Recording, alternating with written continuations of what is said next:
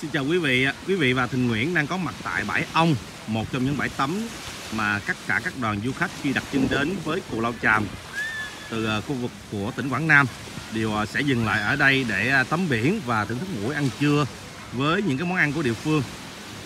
Mời quý vị cùng với Thịnh Nguyễn mình ngắm nhìn toàn cái khu vực bãi Ong. Sau khi tắm biển ở đây xong thì các du khách sẽ từ từ trở về lại đất liền bằng những cái chiếc cano phía trước quý vị thấy à, đi cano như thế này thì khoảng tầm 25 phút. À, tùy thời tiết quý vị nha có thể nhanh hơn vài phút và chậm hơn vài phút. Để đến được với à, cù lao chàm à, với cự ly đường đi từ à, biển cửa đại đến đây là khoảng à, uh, 18 cây số. Đây quý vị thấy một cái bãi với những hàng dừa. À, các du khách đang à, chụp hình để à, tận hưởng cái bầu không khí của à, bãi ong nơi cù lao chàm à, phía sau bên đó là cái khu vực để mình tắm lại nước ngọt và thay đồ. Còn đằng sau rặng dừa này là những cái nhà hàng để à, thưởng thức các món ăn.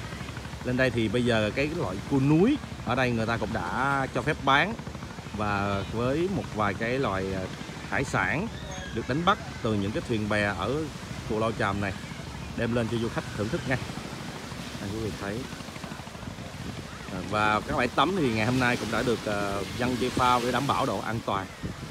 Đẹp. À, còn đây là hướng đi chính về ờ, với ờ, trung tâm của đảo.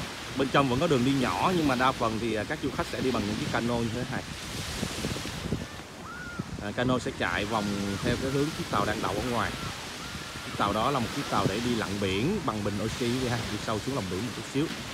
À, và đi qua cái mũi đất này thì à, sẽ đến được cái bãi chính cái bến du thuyền của Cù Lao Chàm và trong clip tới mình sẽ giới thiệu rõ hơn một cái quy trình một ngày à, từ sáng đến à, khoảng hai ba giờ chiều để quý vị đến với à, à Cù Lao Chàm vui chơi giải trí à, thật là thoải mái.